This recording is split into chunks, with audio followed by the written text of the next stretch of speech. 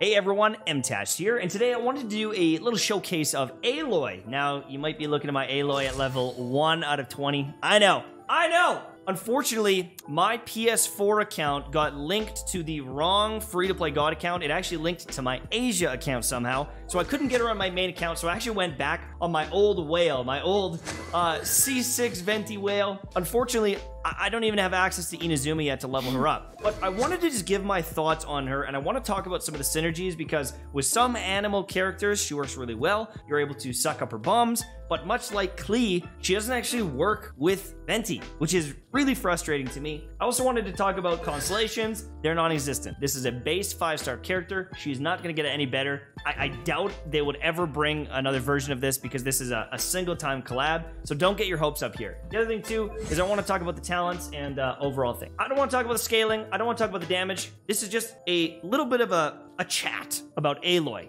uh, what she does good, what she doesn't do good, and I want to level her up on my main account when I get things sorted, and I'll do a full review then. When I can actually test her out, get some good artifacts, because the artifacts on this account are trash. Maybe I can borrow a friend's account. I have a couple friends that have, uh, you know, really solid accounts with a ton of artifacts farm. So maybe I can do that sooner rather than later, uh, unless MiHoYo hooks me up and, and fixes my PlayStation. But I've got I've got some love for Aloy early on, just kind of first impressions, and I've got some things I'm sad about. This bomb not getting picked up by Venti, it tilts me. Makes me sad. I didn't expect it to. I, I just, for me, because I am a Venti user, not being able to throw that in makes me cry. However, that being said, I have Kazuha, right? So I can pull them in with that. I do have Sucrose. I could maybe use Sucrose. But honestly, I don't know if it's the end-all be-all. When you use Aloy and you throw these bombs down, right?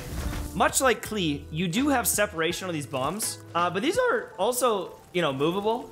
And, you know, depending on if you're using like Jean, they're very mobile. Sucrose can move them together. The main character can suck them all in with the tornado or just the E ability. So there are other options, especially Kazuha, that do you need Venti to make this character work? No. Do you need an Anemo character to make this character work?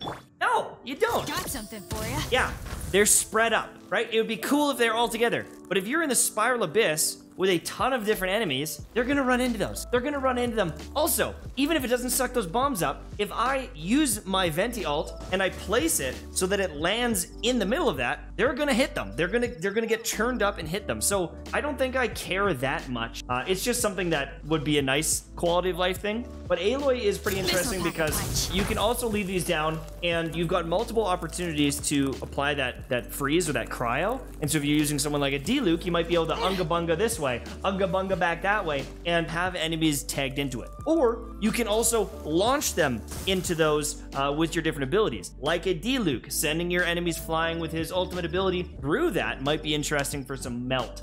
So the other thing too, a, little bit of an annoying thing is I feel like she's got a, a, kind of a mixed kit. She's got some stuff that wants to be DPS. You got some stuff that wants to be support. You have the potential here to be a pretty good support because of this right here, her E ability. When you get the coil effect from Frozen Wilds, that's by getting four enemies hit, you get an attack bonus, which is cool. You can use that as a DPS. You can also use it as a support. And that's cool. But the cooldown on it is like 20 seconds. It's 20 seconds. And so if you're not using her as a DPS, you can't rotate back to Aloy very quick. That being said, much like a Xingqiu, we've got something called the sacrificial bow. And so by hitting those um, those bombs that are left behind, you have opportunities to proc the sacrificial bow and be able to spam this out and get some energy recharge back for yourself and uh, and generate more particles. So there is potential there with the sacrificial bow. Then with the strong strike, when Aloy is in the rushing ice state, you're going to get cryo damage bonus every um, one second, 3.5%, which is cool. And you can see here that the rushing ice duration is 10 seconds. So optimally, as long as you time it properly, you can get like, let's say 30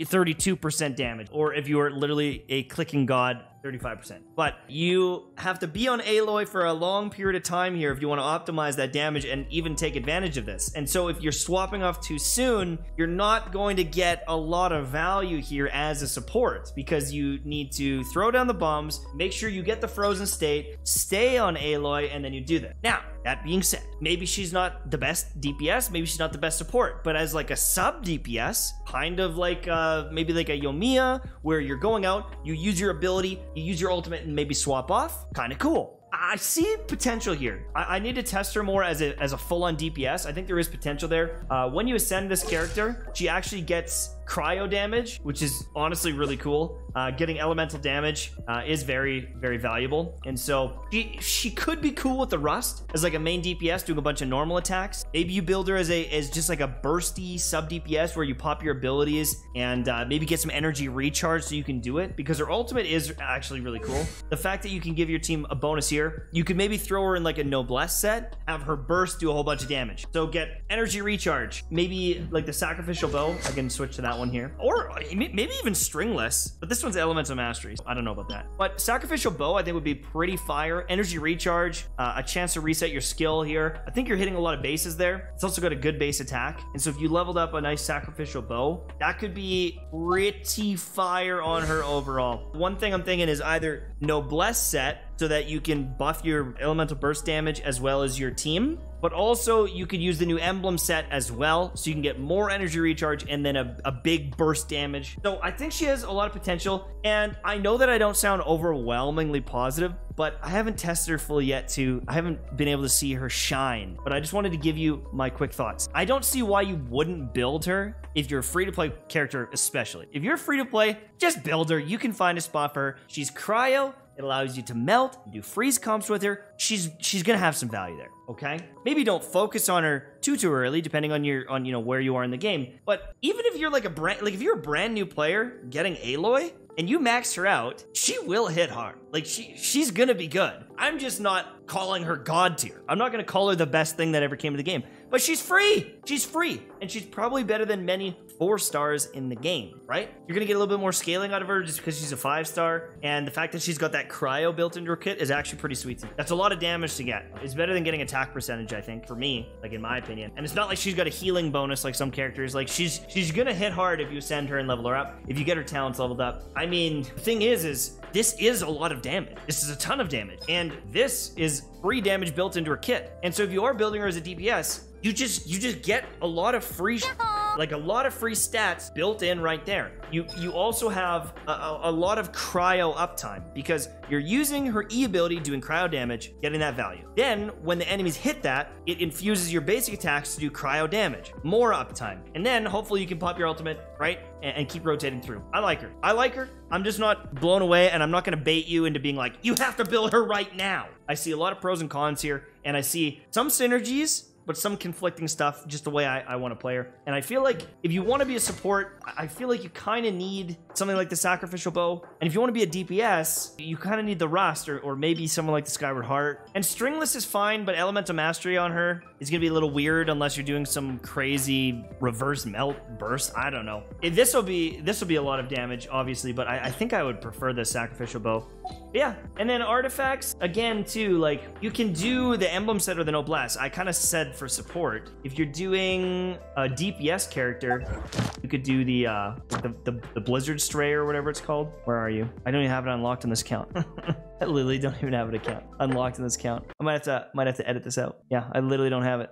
So also, Aloy comes with a weapon. So Aloy also does come with, with this weapon, the Predator, and it does look very good. Dealing cryo damage to an opponent increases normal and charge attack damage by 10% for 6 seconds. Now, I don't believe you can refine this, which means you can't make that any more valuable, but also, when Aloy equips it, you get 66 more attack. So that's going to give you a lot of base attack, and that's cool, but this only works on PlayStation Network, and I know a lot of people don't play on PlayStation. They're going to log in and get Aloy, and then they're going to play on mobile, or they're going to play on PC. If you're on this and you don't have any other alternatives, this does look pretty good. But if you did have something like the Rust, I would probably recommend the Rust over Predator. Um, maybe you have a five star weapon. I don't know where you're sitting, but the Predator is fine. And if you are new to the game uh, and you don't have a lot of four star weapons, sure, go for it. But not being able to refine it ever is a little sad, and um, it, it, it limits its potential, especially the longer you play. Because eventually you might get like a C2 or a C3 or a C4 Rust, and all of a sudden that thing is going to slap and have a huge bonus to your attack damage. So I, I feel like Predator might get outscaled long term. So final thoughts on our girl Aloy. I think she's a really cool looking character. I love Aloy. I love this game, Horizon Zero Dawn. Uh, Aloy will not replace Ganyu as a main DPS, I don't think, but I need to test her. Maybe she's going to be a basic attacking cryo Yoimiya. I don't know yet. I don't know yet. As a support, I don't think she's going to be a god tier support, but I think she's kind of like a sub DPS with some burst. I mean, if you look at Ganyu and you use her as just like a support, I feel like you'd have kind of similar feeling. You know, she's got some area of effect. She's throwing down those bombs. You do a big burst, you swap off. You're going to get some value there overall. I'm guessing Ganyu would still be a better support slash sub DPS just because her ultimate really is cracked and she's got a taunt. But Aloy brings quite a bit to the table. I like her. I'm going to build her on my free to play God. No questions asked. I might just not do it right away uh, because I, I won't have access. But that's pretty much the only thing hindering me from doing it because I do see some value here and uh, I just want to sink my teeth into it and uh, and try some more. So I'll get someone's account with her leveled up in the next few days, and then we'll know for sure. Okay? Thank you so much for watching. I hope that you enjoyed, and I will see you soon, my friends. Bye bye.